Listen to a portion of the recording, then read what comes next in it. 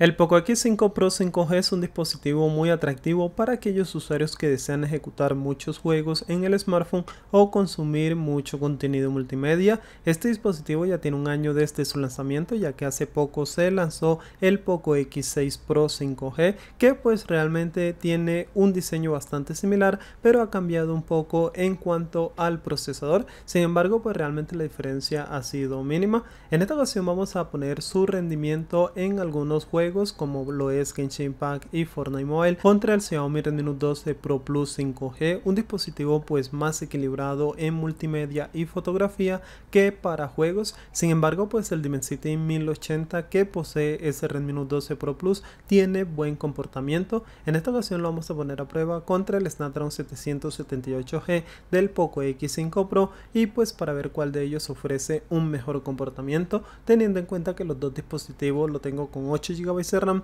y 256 GB de almacenamiento interno. Entonces si quieres conocer un poco más al detalle de esta comparativa de juegos entre estos dos dispositivos y ver cuál te conviene comprar, no te despegues de este video.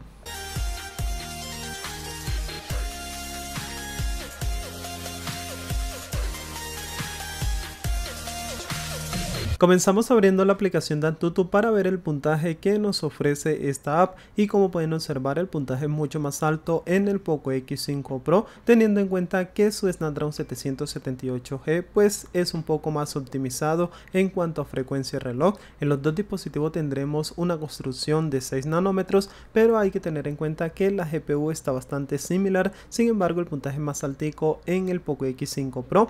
Vamos a comenzar nuestra prueba de Free Fire en calidad gráfica ultra y pues en el Poco X5 Pro 5G como ya les mencioné tendremos 8 GB de RAM y 256 GB de almacenamiento interno. Aquí en la máxima calidad pues tendremos un juego bastante fluido y pues con unos FPS que van entre 57 y 60 FPS realmente la jugabilidad es bastante buena. Sin embargo pues cuando juegas por mucho tiempo realmente la presencia de lag se siente al igual que en todos los dispositivos. Sin embargo hay que reconocer que el juego pues es bastante fluido en este smartphone por lo que si eres un usuario de ejecutar Free Fire pues el dispositivo se comportará de muy buena manera. Además que los FPS pues son bastante estables para este juego en este Poco X5 Pro. Si ya por ejemplo vas a probarlo en el Redmi Note 12 Pro Plus 5G como ya le mencioné tendremos la misma configuración de 8 GB de RAM y 256 GB de almacenamiento interno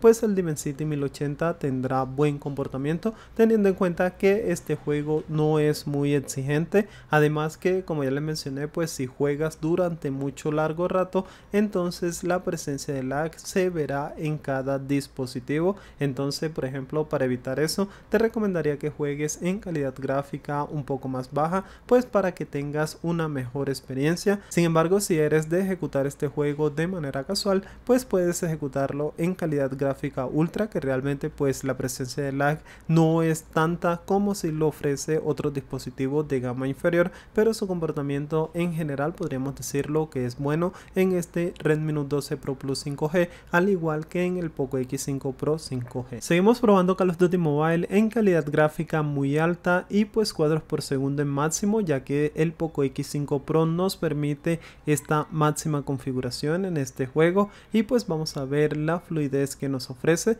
En esta ocasión como pueden observar tendremos una tasa de FPS que va de entre 59 y 60 FPS ofreciendo pues muy buena jugabilidad y poca latencia en este juego. Además que la presencia de lag pues es mínima. Gracias a la GPU Adreno 642L con sus cuatro núcleos de ejecución pues tendremos un comportamiento bastante fluido y muy decente para este juego. Realmente el Poco X5 Pro 5G está muy bien optimizado para aquellos usuarios que les gusta ejecutar muchos juegos en el smartphone sin gastar demasiado presupuesto. Ya si por ejemplo quieres el más reciente de la familia Poco, deberías ir por el Poco X6 Pro 5G que pues ha mejorado un poco el apartado del rendimiento, además que tiene un precio muy similar a este Poco X5 Pro, así que es uno de los detalles a tener en cuenta, siendo una de las mejores opciones en cuanto a rendimiento.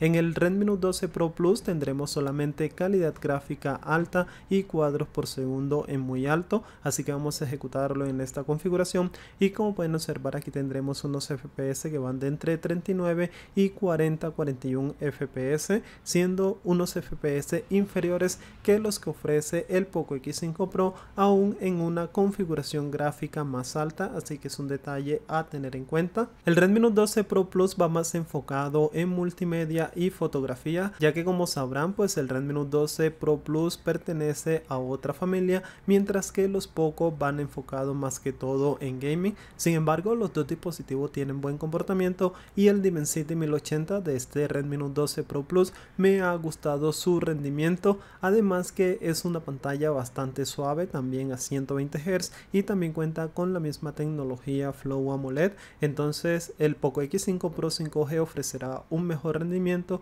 y tendrá una mayor configuración gráfica en Call of Duty Mobile sin embargo pues en el Redmi Note 12 Pro Plus aunque tendremos una calidad gráfica inferior todavía tendremos una muy buena experiencia de juego. Continuamos probando Genshin Impact en el Poco X5 Pro en calidad gráfica alta y pues vamos a configurarlo a máximo 60 fps y pues vamos a ver el rendimiento que nos ofrecerá este smartphone. Recordarán que después de cambiar los ajustes gráficos deben reiniciar el juego para que se guarden los cambios en ese dispositivo además que hay que reconocer que este es un juego bastante pesado que después de descargar los datos tendremos un peso de alrededor de 30 GB así que pues deben tener buen almacenamiento en el dispositivo para que puedan ejecutar este juego. Me ha gustado el rendimiento del Poco X5 Pro. Aquí tendremos unos FPS que van de entre 30 y 34 35 FPS ofreciendo buena calidad de imagen y también buena fluidez. Eso sí el Poco X5 Pro en estos juegos que son más pesados tiende a calentarse un poco cuando estamos ejecutando algún juego por mucho tiempo. Sin embargo pues realmente me ha gustado el rendimiento y pues ya que el calentamiento es algo como estándar en todos los dispositivos cuando ejecutamos juegos por muy largo rato Vamos a continuar ahora con el Redmi Note 12 Pro Plus, vamos a ejecutarlo también en calidad gráfica alta y pues también la misma configuración a máximo 60 fps. Aquí también tendremos muy buena representación de los colores, buena calidad de imagen y también pues un juego bastante fluido. Aquí tendremos unos FPS bastante similares de entre 30 y 35, 37 FPS. Sin embargo pues siento que alcanza a subir un poquito más que en el Poco X5 Sin embargo pues el rendimiento es bastante similar. Así que como pudieron observar pues para estos juegos que hemos visto anteriormente pues realmente la diferencia de rendimiento es mínima entre uno que otro juego, ya que por ejemplo Call of Duty Mobile está mejor optimizado para dispositivos que vienen con procesador de Qualcomm, mientras que pues para los que vienen con procesador de MediaTek todavía le falta un plus, sin embargo pues el rendimiento es bastante decente en estos dos smartphones. ones. Para finalizar vamos a ejecutar Fortnite Mobile en el Xiaomi Redmi Note 12 Pro Plus en calidad gráfica alta y pues a máximo 60 FPS.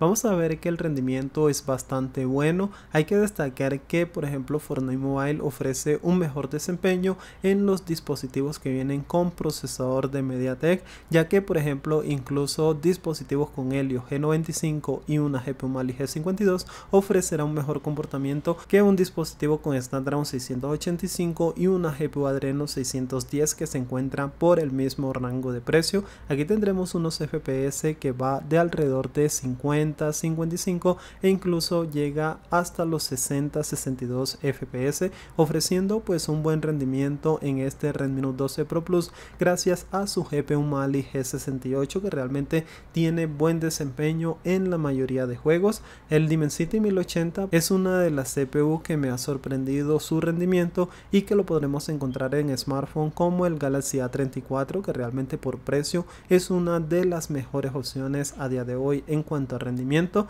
Ya por ejemplo este Redmi Note 12 Pro Plus mejora muchos apartados como para multimedia y también para fotografía siendo un dispositivo un poquito más costoso pero realmente es un smartphone que vale la pena. En el Poco X5 Pro aquí tendremos el juego en calidad gráfica alta pero pues los FPS descienden hasta hasta los 30 en promedio. Así que realmente en este apartado el Redmi Note 12 Pro Plus ofrecerá un mejor rendimiento en este juego mientras que por ejemplo este Poco X5 Pro ofrece la mitad de FPS que el dispositivo de Xiaomi. El Snapdragon 778G ofrece buen comportamiento en multimedia y pues también a la hora de multitarea. Sin embargo pues en juego como Fortnite Mobile sucede algo que pasa en los dispositivos de Qualcomm con el juego Call of Mobile que está mejor optimizado. Bueno, entonces Fortnite Mobile está mejor optimizado para dispositivos que vienen con chip de MediaTek. Entonces es algo a tener en cuenta. Sin embargo, pues el rendimiento en los dos es muy bueno.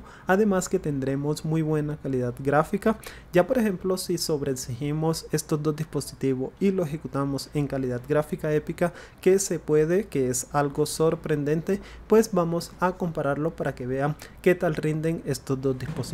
Comparándolos, Fortnite Mobile en calidad gráfica épica en el Redmi Note 12 Pro Plus solamente nos ofrece alrededor de 15 FPS y pues ya se alcanza a notar la presencia de lag, entonces es un detalle a tener en cuenta. Esto es a la hora de colocar la máxima configuración en este juego y pues en este dispositivo de Xiaomi ya notaremos un poco las falencias de esta GPU. Ya por ejemplo en el Poco X5 Pro en calidad gráfica épica 30 fps tendremos un juego mucho más estable sin tanta presencia de lag y pues con unos fps que se mantienen más estable en alrededor de 30 así que por ejemplo la potencia de la GPU se alcanza a apreciar a la hora de sobreexigirle a algún juego en la máxima configuración posible. Entonces como pueden observar pues el Poco X5 Pro está muy bien optimizado para gaming y pues es un dispositivo que vale mucho la pena. El Redmi Note 12 Pro Plus pues es un dispositivo más balanceado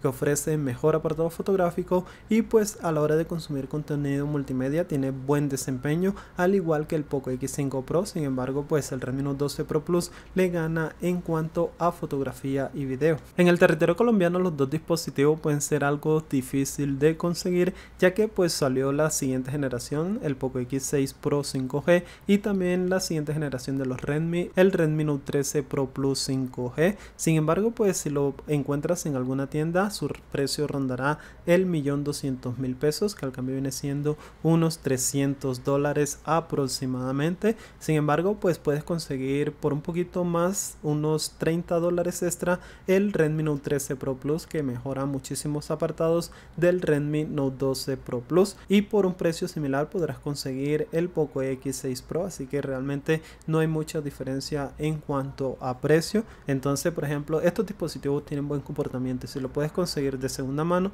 pues te ahorrarás un dinerito y tendrás un dispositivo muy balanceado. Si ya tienes pues el presupuesto podrías conseguir perfectamente la siguiente generación y así tener un dispositivo más actualizado en todos los apartados. Recuerden que ya que en nuestro canal hemos realizado la prueba extrema de juegos en el Poco X5 Pro y también el Redmi Note 12 Pro Plus para que vayan y vean el rendimiento de estos juegos Android en estos dispositivos. Entonces si te gusta este video no olvides darle like y suscribirte al canal para que esté atento a las próximas comparativas. Así que no siendo más, hasta un próximo video.